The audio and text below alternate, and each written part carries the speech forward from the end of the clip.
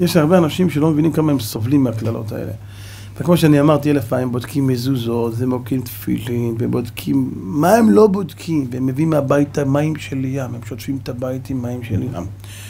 והם בודקים זה, והם מביאים שן של שועל, ותולים על הדלת ארבעה קילו מלח. והם מביאים שן של פיל, שנהב. והם מביאים מנעולים, והם מביאים... אתה נכנס לבית שלהם, אתה רואה על הדלת דברים, אתה חושב, זה הבית של מגרש השדים פה. מה אין להם על הדלת? ומה הם לא עושים? הלו, תגיד לי, חמר, הכל בדקת, הכל החלפת, את הראש שלך לא החלפת. אתה נשארת מטומטם, הפה שלך מנוול, הפה שלך מלוכלך. תעשה מה שאתה רוצה בבית שלך, זה לא יעזור לך, כי יש לך בעיה בבית הזה, בית, הבית שלך זה הלב, חדרי הלב שלך מלוכלכים.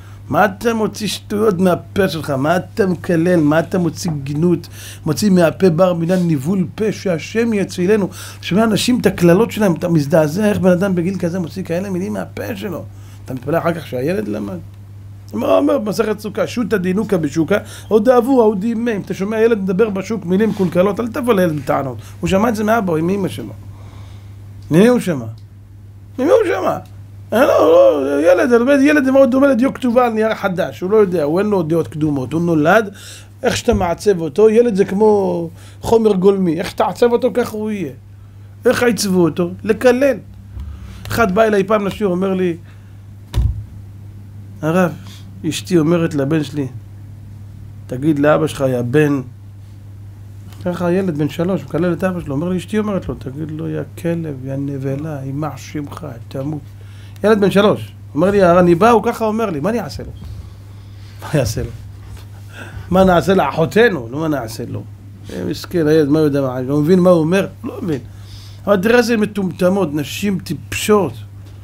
איפה לומדים את זה? כל הטלוויזיה המלוכלכת והאינטרנט המלוכלך והטלנבלה וכל הזבל הזה. אחר כך אנשים מתפלאים, למה בא אליהם הביתה כל הזבל והזוהמה הזאת? אתה מתפלא איך הילדים גדלים, אתם כמו חיות.